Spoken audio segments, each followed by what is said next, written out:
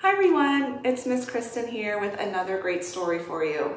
I know we're approaching the time of Easter where we have Palm Sunday, Good Friday, and Easter Day itself. Those are all really special times. And I wanted to tell you a story that includes all of it, all of Jesus' life, why he came, how much he loves us, and that he is alive. So I'd like to read it for you now. And this book is really special because it doesn't actually have illustrations like drawn with markers.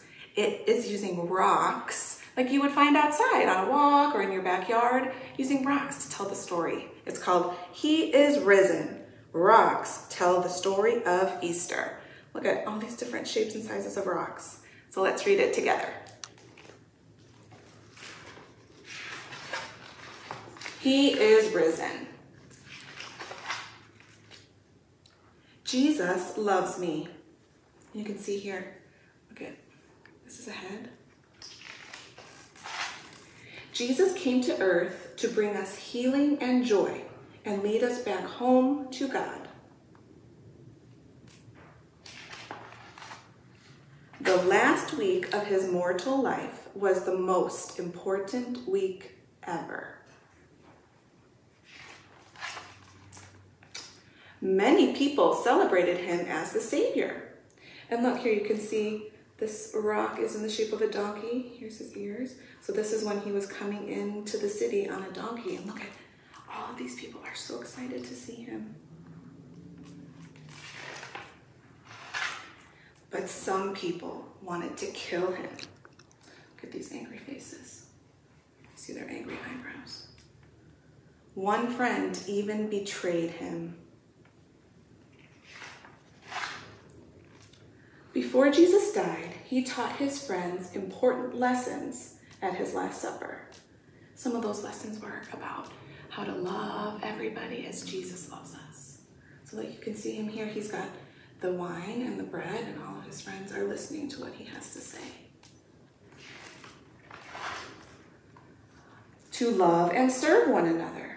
Here you can see Jesus is washing some of his friends' feet to eat and to drink in remembrance of him. And then he prayed in a garden, taking upon himself all the pain and sorrows of the world so we can let them go. Look at all of the pain and sorrows of the world with all of these rocks here.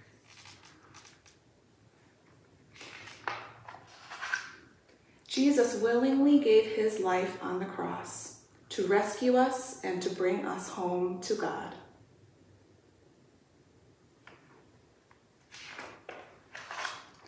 He was buried in a tomb. And after three days, guess what? He didn't stay dead. He came back to life and we can all live again because he conquered death. That means he beat death. Jesus wins. God's love wins. See, it's so exciting. Alive again, Jesus visited his friends. And this is supposed to be Jesus' hands. See all the fingers here? And there's a little heart right in the middle. He asked his friends to share the good news that Jesus is alive. Jesus went to heaven and promised to come back.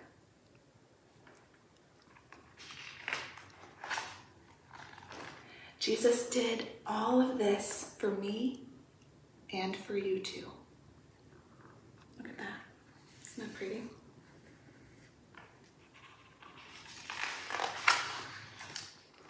And then here it ends with a question. How will you show Jesus' love to other people? So that's something we can think about. How can we show Jesus' love and celebrate that he is alive with other people? The now, at Easter time, I really like to remember the shape of the cross. That looks like this. It's like a lowercase t.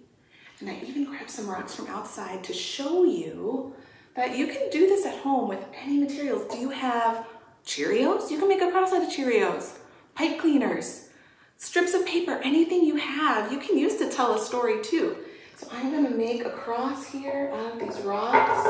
And anytime I see a cross, I can remember how much Jesus loves us, how much he loves me, how much he loves you, how much he loves the world, and that we can celebrate that he is alive. There we go. Let me go with this up here. That was a really fun story. Happy Easter, everybody. He is risen. Yay!